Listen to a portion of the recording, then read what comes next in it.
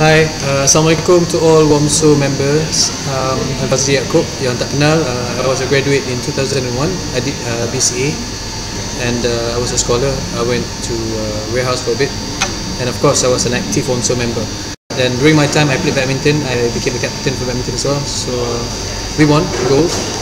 Jadi to those of you yang bakal um, bertanding dalam bersatu games, go for it. I think WOMSO antara pasukan terhebat.